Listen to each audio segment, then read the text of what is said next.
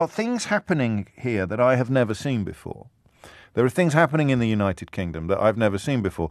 It is as if it is as if an oil tanker is turning around, and it's not going to happen quickly. I'm pretty confident you can't turn an oil tanker around quickly.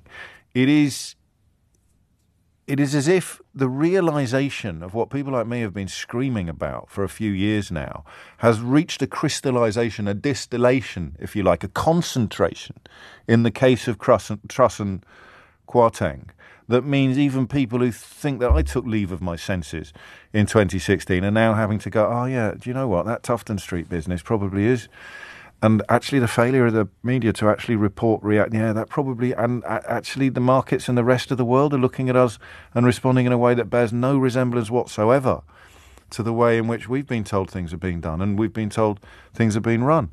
The daily mail had a front page finally a true conservative budget. When was that? 3 weeks ago? Finally a true conservative budget.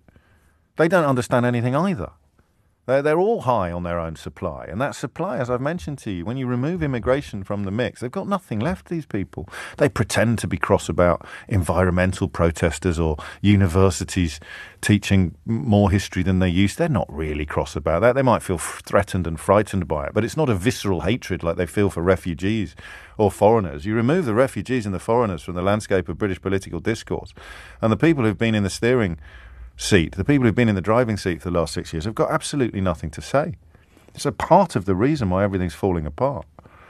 Uh, but the speed with which it's falling apart is quicker than the response of the people responsible for it, whether they're politicians, because the Conservative Party isn't making the noises it should be making when you've got a sort of kamikaze pilot in the front of the bus, and the media doesn't know what to do. They've been so long tugging their forelocks and doffing their caps at whoever was anointed by the Tory faithful. They've got no idea how to respond to the fact that you've got a complete wazzock, two complete wazzocks surrounded by sycophants and idiots in charge of the entire country.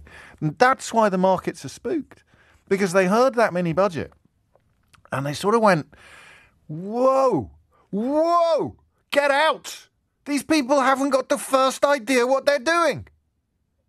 And they're right. But it's almost patriotically difficult to admit that because we live here and we love living here and we love our country. And to see the people in charge embark upon such a such a bone-headed, evil path is hard to hard to fully appreciate because you don't want to believe it. You want to believe the oh, it can't be that bad. Oh, it can't be. They're all the same but they're not. They, these two are uniquely awful. Uniquely awful. And to say that in a country where Boris Johnson has been Prime Minister and Nadine Dorries has been a Secretary of State within the last few months, to, talk, to, talk, to talk of Truss and Kwarteng as being uniquely awful should give everyone the shivers. Absolutely everyone. I'm going to ask you what you think is going to happen next. You don't need any qualifications to answer this question. All that I ask is a, is a modicum of consideration and contemplation. Just take a couple of minutes to think it through before you ring in. It, it could be a comforting contribution, it could be a terrifying one, it could be somewhere in between. What is going to happen next? And you can come at it from either the political, the fiscal, or the economic the social or the personal, or possibly even the professional. What is going to happen next? We are in uncharted waters.